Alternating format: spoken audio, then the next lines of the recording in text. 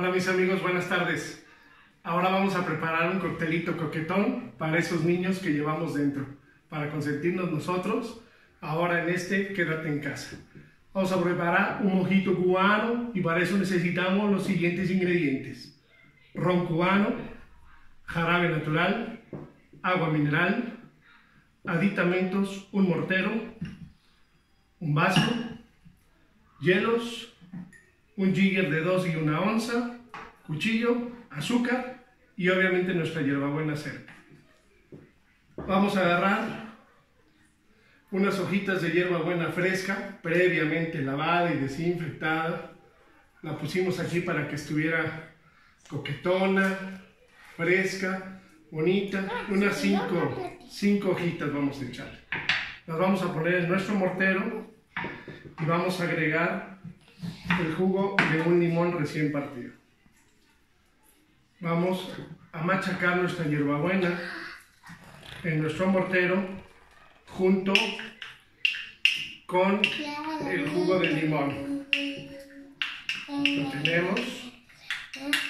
Lo dejamos aquí por un ladito.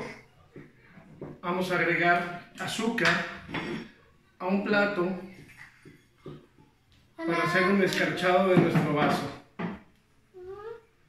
Un poquito de jugo de limón al vaso y tenemos un escarchado uniforme. Agregamos unos cuantos hielos para que esté fresco.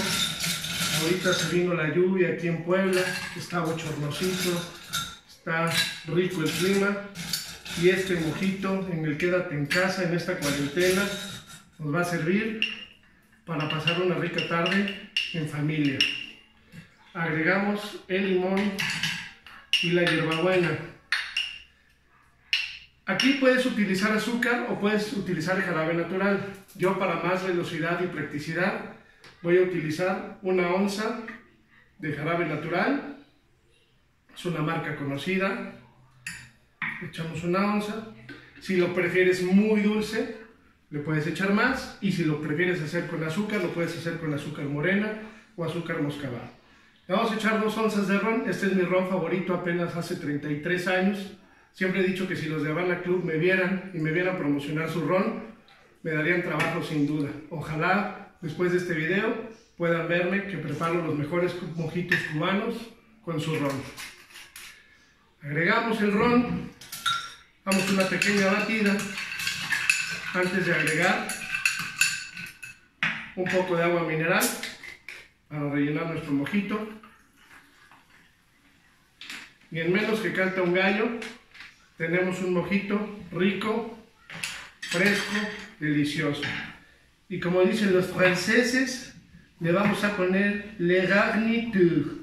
Es un pequeño adorno, la garnitura, para que lo tengamos listo y llevar a la mesa. Amigos, salud, felicidades a todos. Quédense en casa. Los quiero.